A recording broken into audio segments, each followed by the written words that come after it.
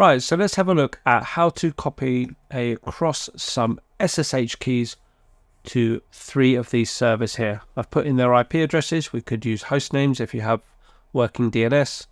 For the purpose of demonstration, we're just going to use these IP addresses. These are three different servers. One's an Ubuntu server, one's an Alma Linux 8, and one is a 9, I believe.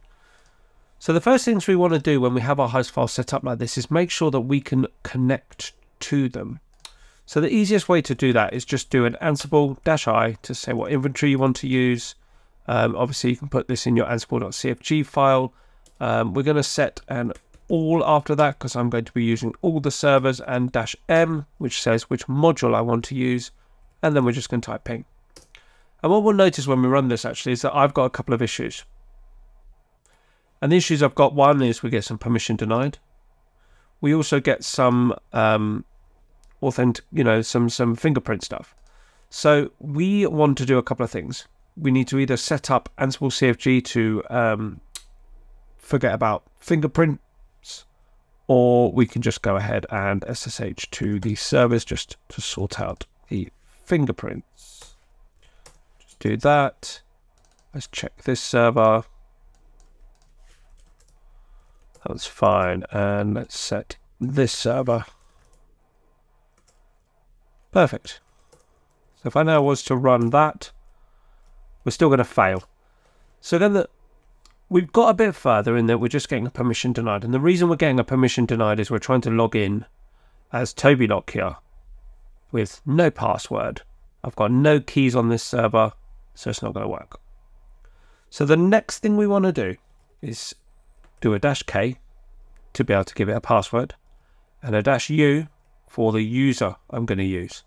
Now this is a demo, I'm going to use the root account.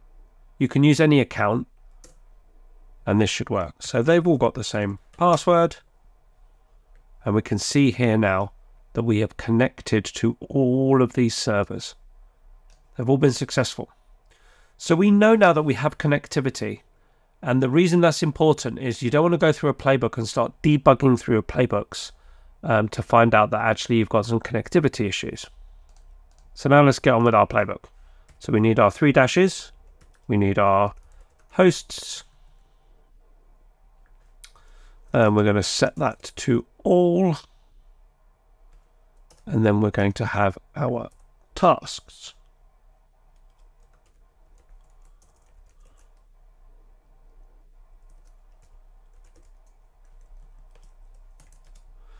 I don't know about you, but I still struggle a little bit with YAML sometimes. I, I don't like the formatting of it, um, but we're all good. We've got it all here. So what we're going to do is we're going to be copying an SSH key. Now, if you've never used SSH keys on the command line, you can do SSH keygen like this, and this will generate you a new key. I've already got a key, so I'm not going to go and do that. But that's how you do it. You just type SSH keygen. You can do it on Windows, you can do it on a Mac, you can do it in Linux. So if I now go to users, Toby Lockyer, .ssh, in here we'll see that I have a pub file. Now the pub is my public key. Here it is. Now this public key is what I will be putting onto other servers. Now I have a private key as well. And my private key just allows me um, to use that key to connect to servers and then match the private key with this public key, get them to match, and then you are authenticated. So this is the documentation for the authorized key module. And we can scroll down a little bit and it's got loads of different parameters that we could use and some examples. Now I love the Ansible examples. They're always great. The best bit is I can just take this first one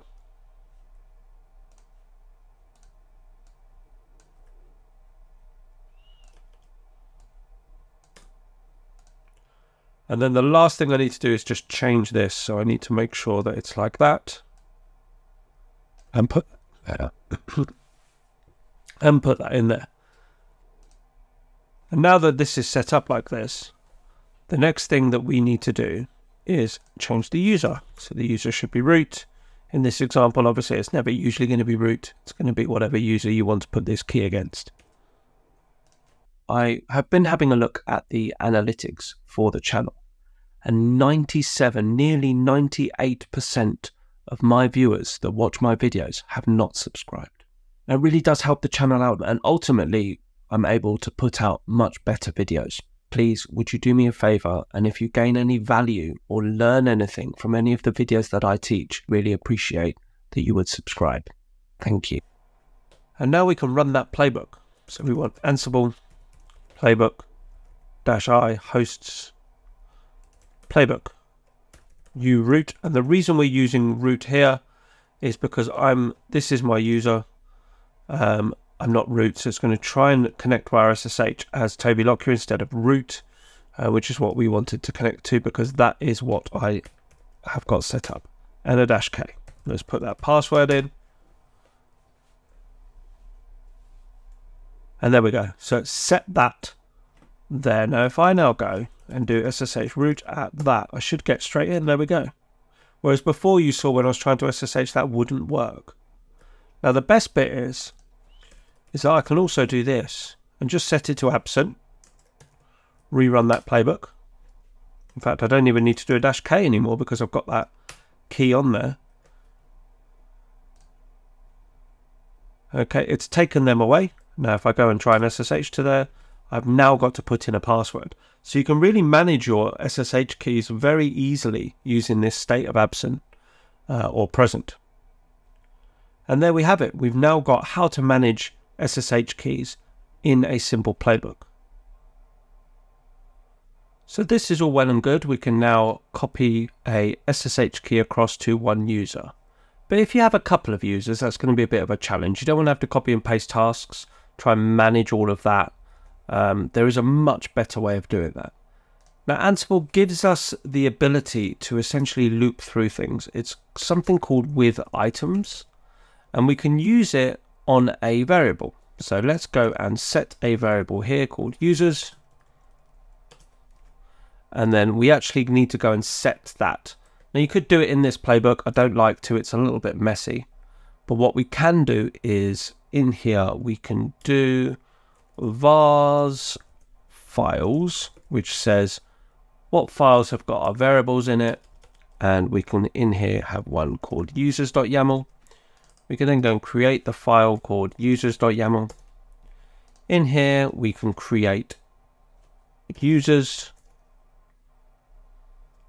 And then we need to then go and set some things.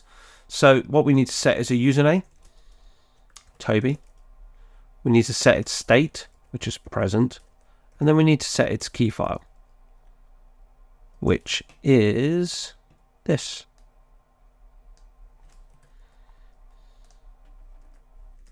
And let's go ahead and save that.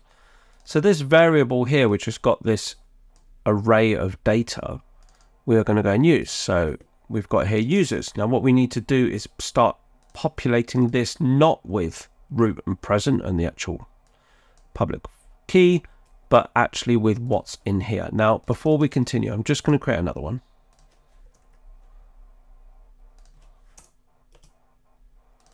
And I'm just going to have root because we already had root.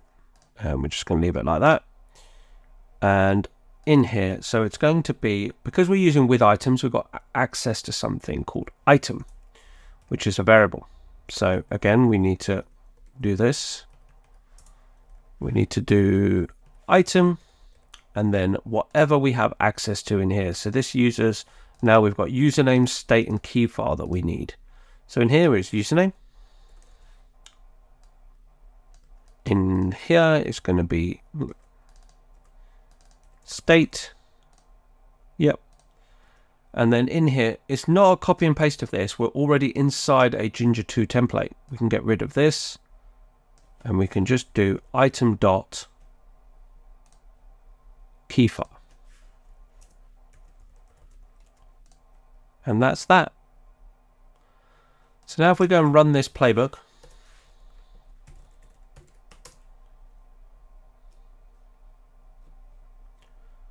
so we can see here it's done it.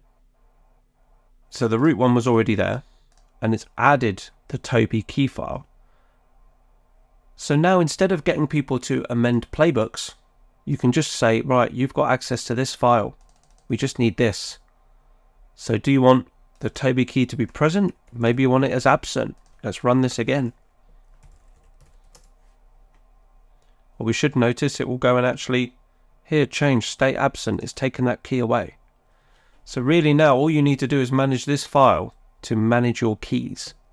And that's a much more effective way of key management in a playbook. If you'd like a copy of this very, very simple file, I've left a link in the description and you can go ahead and download this and I hope this video has been useful. If it has, please feel free to like and subscribe.